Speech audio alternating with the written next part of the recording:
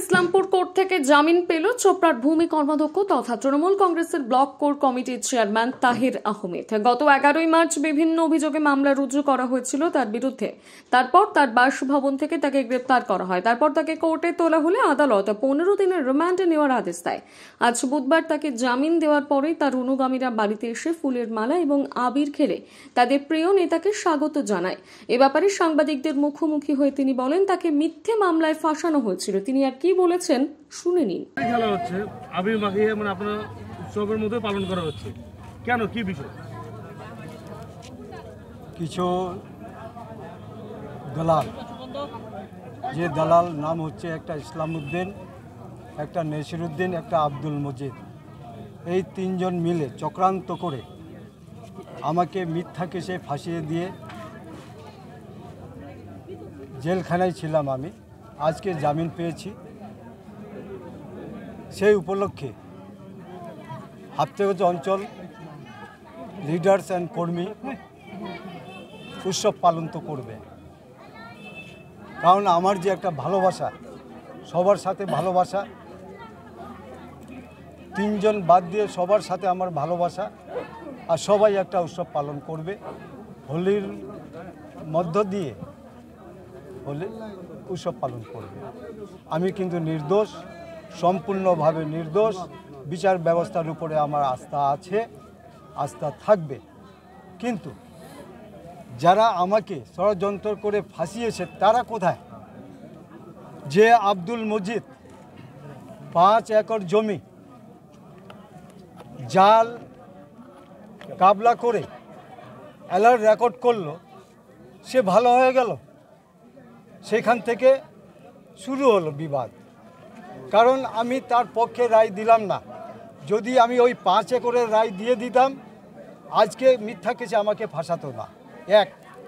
দ্বিতীয় নম্বর হলো, সে আব্দুল মজিদের পরিবার, গরু পাচারকারী, বাংলাদেশে গরু পাচারকারী পরিবার এবং সেই পরিবার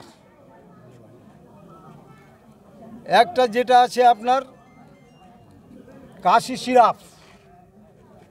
ডেলি একশো, দেড়শো, দুশো সিরাপ, বা ফ্যান্সি ড্যান্সিটা কি বলে ওটা? ডেলি পাস করে সেই পরিবার, তারা ভালো হয়ে গেল। যে লোকটা দীর্ঘদিন আটচল্লিশ বছর রাজনীতি করে মানুষের সেবা করে আসছে, সে লোকটা আজকে খারাপ। মানুষের সেবা করেছি। উৎসব কেন হবে না দাদা? উৎসব হবে? কিছু পুলিশ অফিসার এর মধ্যে জড়িত আছে। তাদের সাথে জড়িত হয়ে আমাকে অ্যারেস্ট করেছেন। আমি কিন্তু নির্দোষ, আমি কোনো জায়গা ছিলাম না, যেখানে মারামারি হয়েছে, ওটা তাদের ব্যাপার, তাদের ব্যক্তিগত ব্যাপার, আমি কিছু জানি না। ব্যবস্থার উপর আস্থা ছিল, যদিও একটু সময় লাগল। আজকে বিচার ব্যবস্থা থেকে আমরা অবশ্যই বিচার পেয়েছি। আজকে আমাদের নেতা, ভূমি কর্মাধ্যক্ষ এবং আমাদের ব্লক কর কমিটির চেয়ারম্যান তথা হাপ্তিয়াগঞ্জ অঞ্চলের কর কমিটির চেয়ারম্যান আজকে জামিনে মুক্তি পেয়েছেন। আজকে আপনারা নিশ্চয়ই আমাদের এই অঞ্চলের এই জনসমাগম দেখছেন। আমরা আজকে কোনো মিটিং ডাকিনি। কাউকে আমরা মিটিংয়ে, এখানে মিটিংয়ের জন্য উপস্থিত হতেও বলিনি। যারাই শুনছে যে আমাদের নেতা আজকে জামিন পেয়েছেন, সবাই কিন্তু বাড়ি থেকে ছুটে আসছেন দেখা করার জন্য। এবং একটু ভালোবাসা দেওয়ার জন্য যেহেতু এনার কাছ থেকে আমাদের হাতিয়া অঞ্চলের সবাই ভালোবাসাটা পান ওই জন্য সবাই আজকে মনে করেছে যে আজকে আমরা একটু ভালোবাসাটা দাদাকে দিব। এই উপলক্ষেই আজকে এই জমায়েতটা আপনারা দেখতে পাচ্ছেন।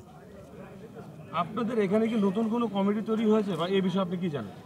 এই বিষয়ে আমার কোনো জানা নাই। আজকে কিছুদিন আগে দাদা মোটামুটি কারাগারে যাওয়ার পরে শুনছি যেটা আপনাদের মিডিয়ার মাধ্যমে এবং মোবাইলের সোশ্যাল মিডিয়ার মাধ্যমে যেটা আমি খবর পেলাম, জোনারা মিষ্টিময় কিছু লোককে নিয়ে একটা মিটিং করেছিল হসপিটা এমএসকে স্কুল মাঠে।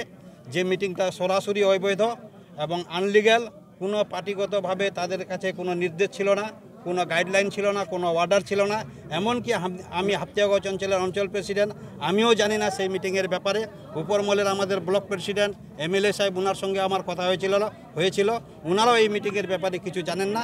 ওনারা মিষ্টিময় কয়েকজন বসে হাপ্তিয়াগঞ্জ অঞ্চলের কর কমিটির চেয়ারম্যান নির্দিষ্ট করেছেন ইসলামউদ্দিনকে সেটা কোনোদিন পার্টিতে বৈধ বলে মানে মানা হবে না। আমি যেটুকুন জানি, যেহেতু পার্টির কোনো এটা সিদ্ধান্ত না, বা পার্টির কোনো গাইডলাইন না, বা পার্টির কোনো এটা ওয়ার্ডার না। এই সিদ্ধান্ত কি ব্লক কমিটি থেকে নেওয়া হয়েছে? না কোনো দিন না। ব্লক কমিটি থেকে যেহেতু বললাম, আমি ব্লক প্রেসিডেন্টকে জিজ্ঞাসা করেছিলাম যে ওই মিটিংয়ের অর্ডার আপনারা দিয়েছিলেন? বলে, না, দিই নাই। এমএলএ সাহেবকেও আমি পুরো জিজ্ঞাসা করেছিলাম। এমএলএ সাহেব বলছে, না, আমরা কোনো মিটিংয়ের অর্ডার দিই নাই। হাপ্তিয়া গছের অঞ্চল প্রেসিডেন্ট আমি, কর কমিটির চেয়ারম্যান দাদা দাদা ছিল না, আমি ছিলাম। আমি জানি না, তাহলে ওটা মিটিং কীভাবে বৈধ হলো? ওটা মিটিং কোনো অবৈধ বলে আমরা মনে করি। ওটা মিটিংয়ের কোনো সিদ্ধান্ত হতে পারে না, ওই মিটিংয়ের কোনো মানে যে মিটিংটার যারা একটা পদ তৈরি করেছে সে পদেরও কোনো মূল্য মর্যাদা নাই।